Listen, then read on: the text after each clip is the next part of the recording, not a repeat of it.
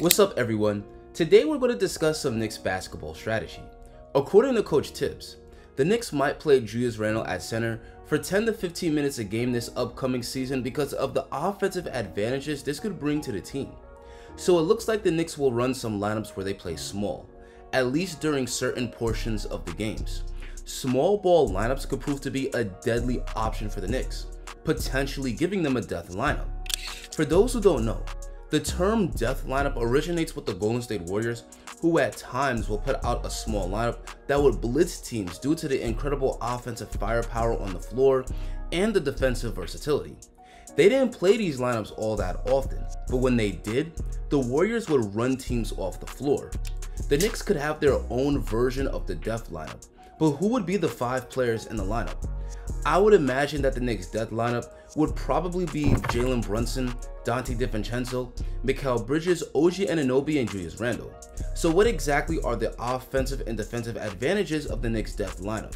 Let's talk about it. But first, we have to discuss BetUS. Guys, if you love basketball and you're a knowledgeable fan, then you have to join BetUS. With the NBA season still a month away, you can make predictions on what you think will happen and bet on them. The Knicks are a virtual lock to have another winning season in my opinion, so I'm gonna bet they make the playoffs. If you sign up, use the code YouTube150 and receive a 150% sign up bonus of up to $2,000. Now back to the death lineup. What are the offensive advantages? The first advantage is the improved shooting the Knicks would have on the floor. By putting Donte in the death lineup, the shooting on the floor would be so much better. Donte drained 40% of his threes last season and made him the third most three pointers in the league last year behind Steph and Luka, and between Jalen, Donte, OG, and Mikal. The Knicks would now have four shooters on the floor that hit over 37% of their threes last season, giving them much better spacing. The Knicks have two incredible drivers between Jalen Brunson and Julius Randle. Both of these guys get in the paint a lot, finish at a high level, and draw a ton of fouls, with no non-shooting big man clogging the lane, and great shooters all over the floor, this would make it even easier for Jalen and Julius to get to the basket and wreak havoc. With this type of spacing, teams will be forced to pick their poison when Jalen or Julius drive. Defenses will have no choice but to give up an open layup at the rim or provide help defense and give up an open three to a high quality shooter. Julius at center could present some serious problems for opposing teams defensively. If he could rediscover his touch from the outside from a year ago, back when he shot 34% from deep, then this would pull opposing rim protectors away from the basket. With Julius stretching the defense with his shooting, this would allow his teammates to score on their drives a lot easier since they would have way more uncontested layups without a shot blocker in the paint. Julius would also have a huge speed advantage against opposing centers, which he could exploit by taking them off the dribble and getting to the basket. And not only is Julius a really strong finisher at the rim, but he's also become a pretty good playmaker. So I could see Julius racking up assists from finding open shooters after drawing multiple defenders into the paint. It's also worth noting that while OG, Mikal, and Donte aren't necessarily elite drivers, they're all capable of making plays off the dribble and getting to the basket. Having five players on the floor that can shoot, pass, and dribble at a high level would be an absolute nightmare for teams to have to defend. This lineup could bring the Knicks offense to new heights. But how will this small ball lineup hold up on the other end of the court? I'm sure some of you could see this lineup having defensive issues. With no shot blocker, the Knicks would be lacking a strong defensive paint presence, but I think this lineup could offset their lack of a rim protector with their excellent perimeter defense. Between Donte DiVincenzo, OG Anunoby, and Mikal Bridges, the Knicks would have three excellent on-ball defenders on the floor for them. All three of these guys are great at keeping their man in front and contesting their shots.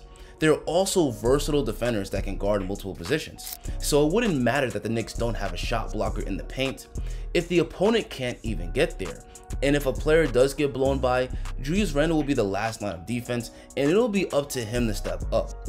Julius has never been a rim protector, but he has shown that he can make defensive plays near the rim. If Julius could be more engaged on defense this season, he could provide at least some resistance when players get blown by on the perimeter. OG Anunoby has also shown that he can step up and provide help defense when needed. A big concern when playing small lineups is always on the glass. but I think this death lineup would rebound just fine. Julius Randle has always been a monster rebounder, which is why he's a double-double machine. And OG Anunoby and Mikal Bridges are good rebounders the Knicks would have in their front court.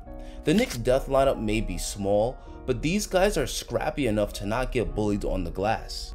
Overall, the Knicks death lineup could prove to be the most dangerous 5-man unit they put out on the floor, but I don't see Thibs playing this lineup for long stretches. The Knicks will most likely go with the big lineups the majority of the time. Guys like Mitchell Robinson and Precious Achiuwa will still get the majority of the center minutes, but I think Thibs will test out the small ball lineups over short stretches to see how they perform and what type of chemistry the players can develop. A small lineup like this could be really taxing on the players, especially on Julius who would need to box out and defend centers. The NBA regular season is a marathon, not a sprint, so it's important that Thibs doesn't run his players into the ground. The playoffs is likely where we would see the death lineup play much heavier minutes.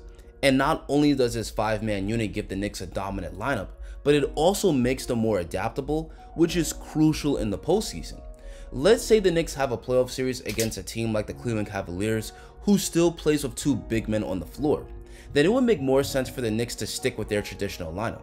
But then let's say the Knicks have to play a team like the Celtics that embraces small ball.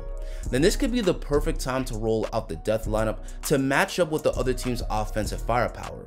The NBA playoffs are often like a chess match. A big part of winning a series is having the ability to make adjustments when needed, and the Knicks having the death lineup in their back pocket makes them more dangerous and increases their chances of going on a deep run and winning the championship. But now I want to hear from you guys. What do you think of the Knicks potentially running small lineups of Julius Randle at the 5? Let me see your thoughts down below in the comment section. Guys, thank you so much for watching. Have an amazing rest of your day, and I'll catch you guys next video.